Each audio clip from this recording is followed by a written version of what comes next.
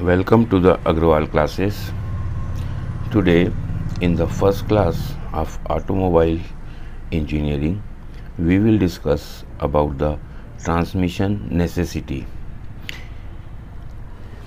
Here, in the graph, you can see this is the tractive effort graph curve.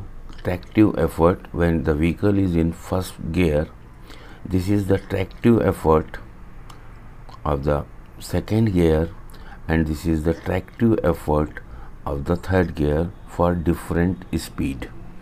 And these are the total resistance curve. Total resistance is the sum of the resistance of the miscellaneous resistance gradient resistance and wind resistance. The wind resistance is a curve which is proportional to the square of the velocity. Miscellaneous resistance is constant with respect to speed and the gradient resistance is also constant with respect to the velocity.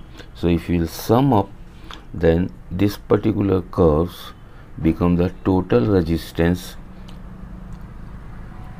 for the motion. Now before discussing this curve let us first have a look tractive effort that is the force which you are applying to move the vehicle and the total resistance is the force which tries to stop the motion so if the tractive effort minus total effort, total resistance is positive, then the vehicle will accelerate. That is, you are applying some net force. So from the second law of Newton's, mass into acceleration. So here force is positive, so the acceleration will be positive. In the second case, if we say the tractive effort is equals minus total resistance is equals to 0, that means the tractive effort is equals to the total resistance. So there is no net force acting. So in that case, the vehicle will run at the same speed. And in the third case, when the tractive effort minus total resistance is negative, that means the total resistance is more than the force which we are applying so the net force will be negative and in that case the vehicle will deaccelerate as f equals to m into a. F is minus so a will be minus. Okay so let us now move to the curve. Here say our vehicle is running at we are at point 3 vehicle is moving with a speed of c.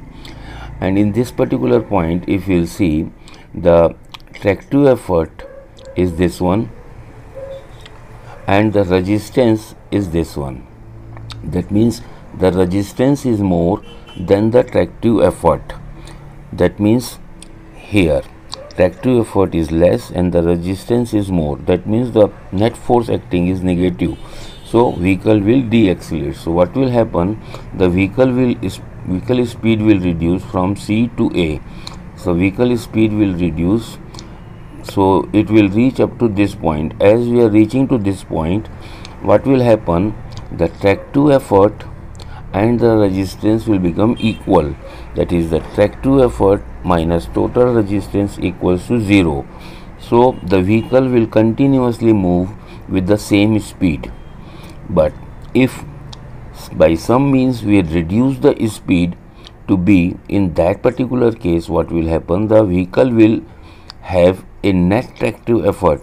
So it will come here but the vehicle will have now the more effort than the resistance. So vehicle will again try to move to an higher speed so that the tractive effort and the resistance becomes equal. If the total resistance is increased say it is crossed the curve of this tractive effort say we are here somewhere in this case.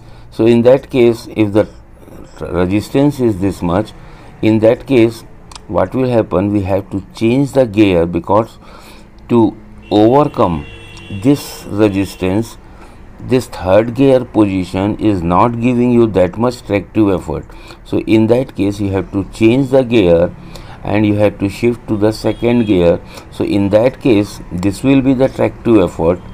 On this curve we are having at this point and this is the total resistance. So the tractive effort will be more and the resistance will be less. That is the first case and vehicle will accelerate. So vehicle velocity will increase and it will reach to this point. And when the tractive effort and tractive effort and the resistance become equal so vehicle will continuously move with this speed. If the resistance is increased further say we are having on this line then in in this resistance level the second gear is also not in a position to provide the tractive effort so then we have to move for the first gear.